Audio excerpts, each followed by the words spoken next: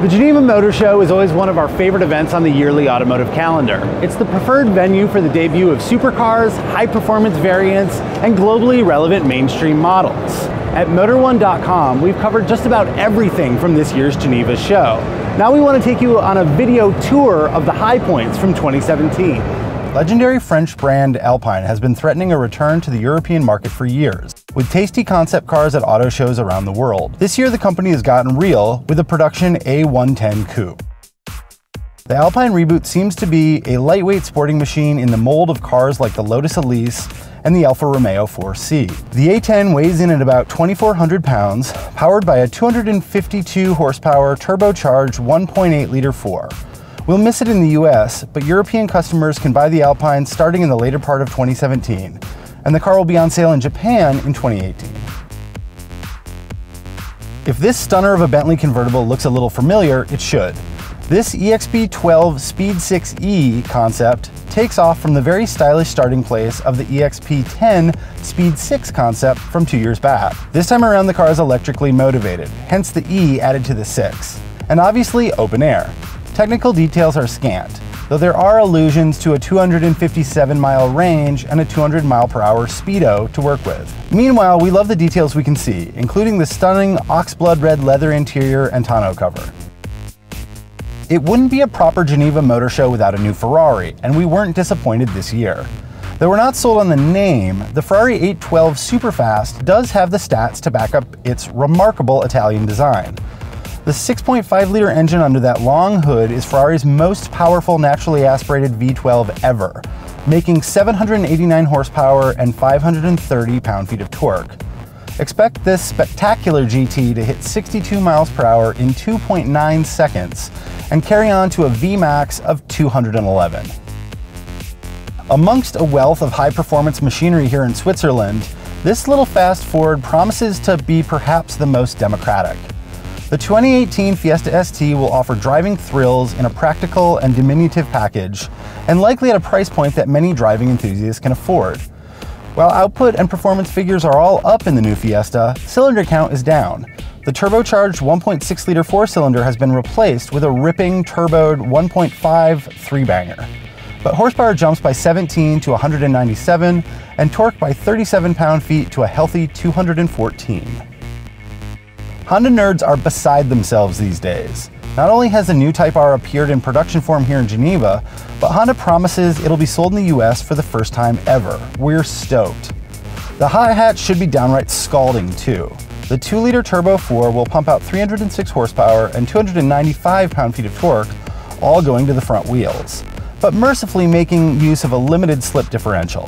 Throw in a proper six-speed manual with rev matching, and we're talking about a car that should bring fight to the sport compact market in a serious way.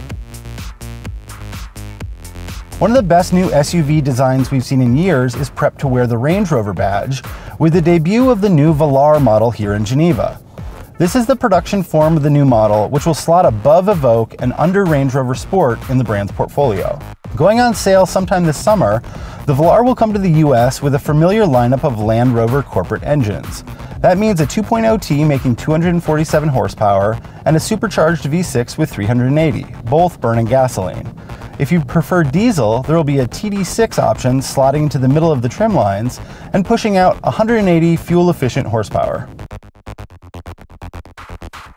Styling of the outrageous new McLaren 720S might be controversial when compared to the 650S it replaces, but its jaw-dropping performance shouldn't be. A hard-working turbocharged 4-liter V8 is pushing out 710 horsepower and 537 pound-feet of torque.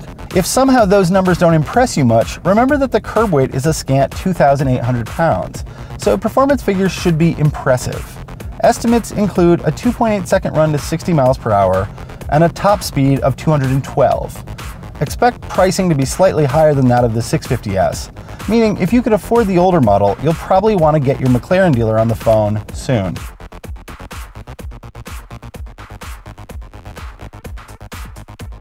If Mercedes proved anything at this year's Geneva show, it's that the company is willing to compete in any and all segments. Not only did it bring a luxury pickup truck to the event and an ultra luxury convertible off roader, but it's also throwing a challenge at the Porsche Panamera with this GT concept. The impossibly red concept car has a hybrid powertrain, combining a bi-turboed 4.0 liter V8 engine with a rear-mounted electric motor. Results are impressive if theoretical.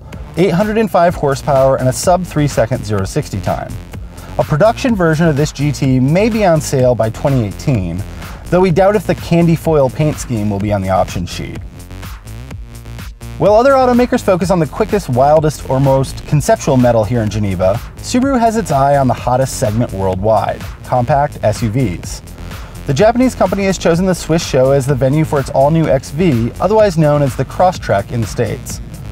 Styling stays true to what has been a big success story for Subaru, with a slightly lower stance and slicker bodywork, nicely updating the compact five-door form. Ground clearance is still a very useful 8.6 inches for the all-wheel driver, meaning owners who regularly use rutted roads or travel lightly off them should rest easy. Power from the 2-liter Boxer 4 has been bumped up to 154 horsepower and connected to a new CVT with 7 simulated ratios. Pagani routinely blows minds with not only its crazy performance figures, but also lovely attention to detail. Such is certainly the case with the new Huayra Roadster. Our fevered driving dreams may revolve around hearing that mid-mounted 6-liter V12 at full song, but in the meantime, elements like the quilted leather on the floorboards and the impossible shape of the wing mirrors surprise and delight. This wild 764 horsepower convertible will remain a dream vehicle for most. A production run of just 100 cars and a sticker price of 2.4 million certainly will help to maintain the all-important exclusivity. Porsche is iterating on its Panamera in a way that car nerds will be pretty stoked about. We're getting a wagon, guys! The company might not be using the W word for this Panamera Sport Turismo, but the extended cargo area and longer roof tell the real tale.